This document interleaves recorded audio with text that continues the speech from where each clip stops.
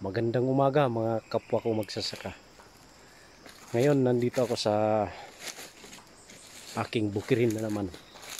At ah, ako'y naglilinis dito sa Oh, may ibon. Yan o.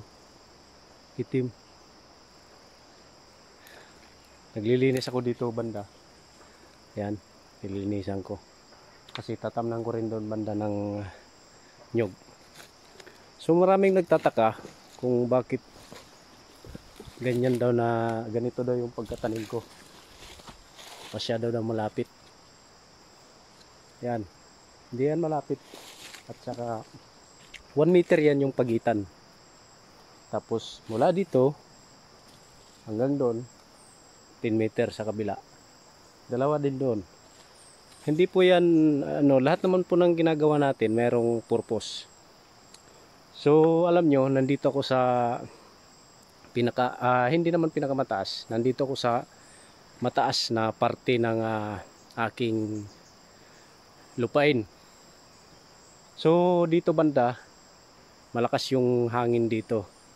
Kaya yung purpose ko nito, bakit ganito yung pagkatanim ko?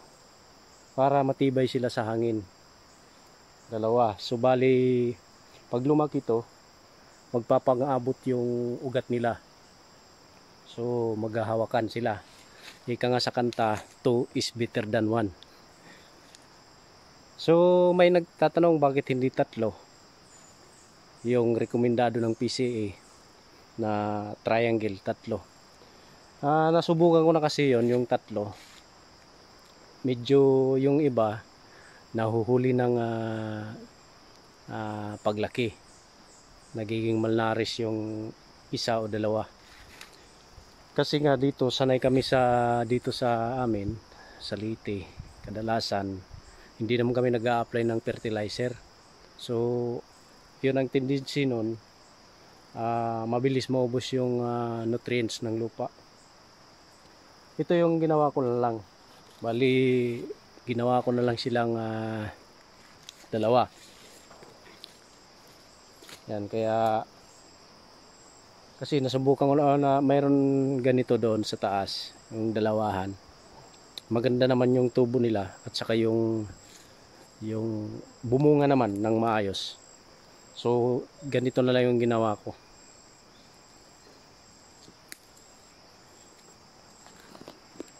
So, yun yung purpose natin para matibay sa hangin at saka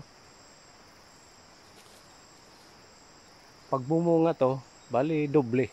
Hindi ma ma-maximize natin yung ah, yung lupa.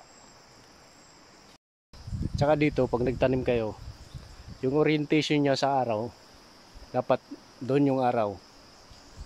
So bali yung dalawang tanim nyo dalawang tanim parang hinaharap nila yung araw para pareha sila makakuha ng sikat ng araw.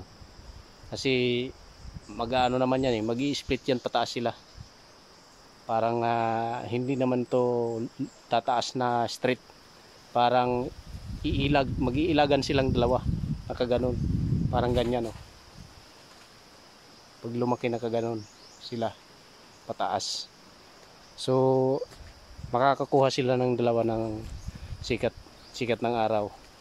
Unlike dun sa triangle, yung isa doon, matatabunan, ah, yung dalawa, matatabunan ng dahon. Yun ang ah, napansin ko.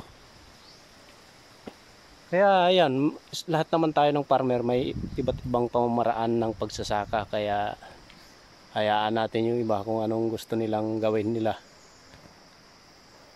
Kasi hindi naman tayo parpareha ng lupa. Klase ng lupa. Hindi tayo parpareha ng lokasyon ng ating mga farm, ng elevation. Yan. Kaya hindi natin pwedeng gawin na pantay-pantay yung yung application natin o pamamaraan. Kasi kailangan din gumana yung ano natin eh, yung titingnan natin yung sitwasyon yung actual na sitwasyon na ano doon sa diyan sa farm mo Yun yung dapat mong isaalang-alang din. Kaya, yun, ito yung pamamaraan ko na sa pagtatanim. Kaya, yan, naniniwala ako na may magandang resulta to. Maraming salamat po.